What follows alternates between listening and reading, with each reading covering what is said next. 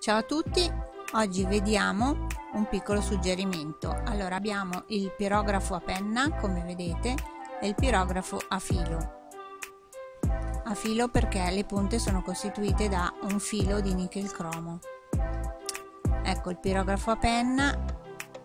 Entrambi questi due pirografi non hanno eh, un interruttore e quindi io utilizzo una ciabatta dove inserisco le due spine che ha però l'interruttore.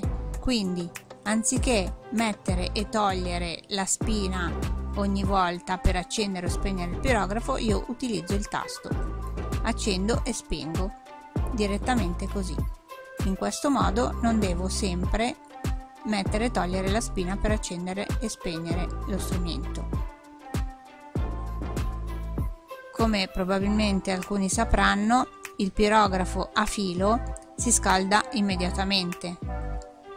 Passa la corrente attraverso questo filo metallico ed è subito in temperatura, mentre il pirografo a penna per scaldarsi richiede eh, un 5-6 minuti.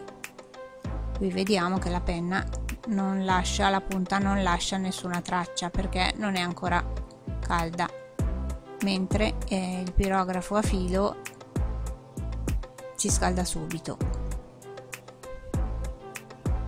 Un altro vantaggio del pirografo a filo è quello di avere un'impugnatura eh, più vicina e quindi più facilmente controllabile dalla mano, mentre la punta del pirografo a penna è molto più lunga e eh, la parte che scotta e che non posso toccare è molto più lunga qui vediamo che ancora non è caldo.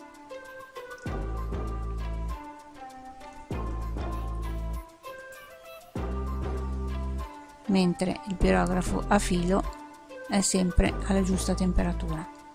Spero di esservi stata utile.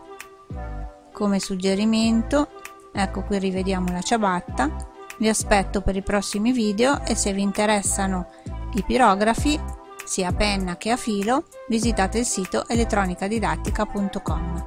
Se non l'avete ancora fatto, iscrivetevi a questo canale per restare sempre informati. Ciao a tutti, a presto!